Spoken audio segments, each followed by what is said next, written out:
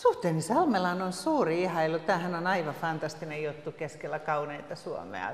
Tuomas on tehnyt mielettömän duunin tämän kunnan hyväksi ja taiteen hyväksi. Nämä rakennukset, mä oon niin onnellinen, että on yksi paikkakunta Suomessa, missä vanhoja rakennuksia vaalitaan. Tämä on mun suosikkihuone tietysti. Joo, kun mä aloitan työt, niin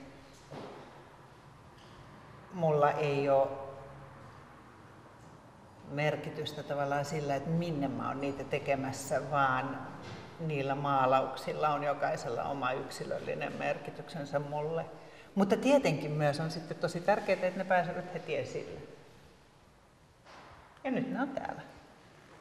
Mä en koskaan kerro mun teoksista. Enhän mä olisi maalari, jos mä olisin joku kertoja, satutäti. Ei. Enkä mä myöskään kirjoita näistä pikkuluentoja tai analyysejä, koska nämä on maalauksia. Ja mun alue on siis maalaaminen ja sivellin. Mä olisin kirjailija tai tutkija, jos mä kirjoittaisin tai tutkisin. Kaikilla on nimet. Mustakallo, oranssikallo, okravärinen kallo, sininen kallo. Nimet on. Mallit on esimerkiksi tässä oranssikallo. Tämä on hirvenkallo. Kaikkihan metsästäjät tuntee hirven otsan ja sarvet. Ja tämä on mulle erityisen rakas. Mä löysin hänet vuonna 1987 mun kotitalon aitan alta. Mä pidän aika todennäköisenä, että mun isä on ampunut sen hirven aikanaan.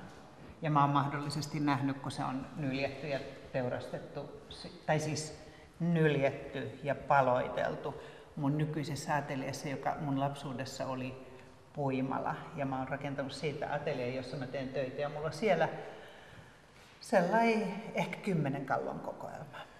On täällä yksi hevosen kallo, se on tässä Minotauroksen sylissä. Tämä on Minotauros kallo on tämä nimi, jos nimistä puhutaan. Ja tota, hän painaa poskea vasten tätä hevosen kalloa tässä.